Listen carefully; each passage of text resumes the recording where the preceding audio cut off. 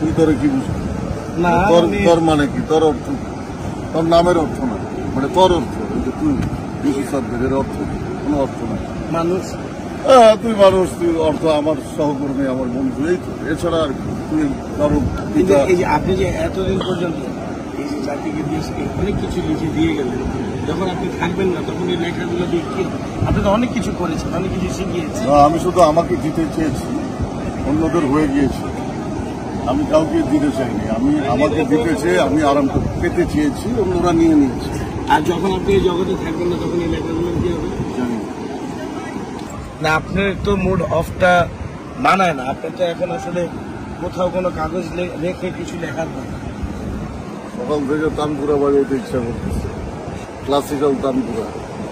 আশেপাশে যে তানপুরা দেখতেছি এগুলো ডিস্টার্ব এই জন্য মনে হয় কিন্তু অনেকেই বলে আপনার লেখার অর্থ তারা বুঝতে পারে না। এটা কি আসলে কোনো ডবল মিনিং দেয় কোনো মিনিং এর কিছু নাই, কিছু বোঝার নাই।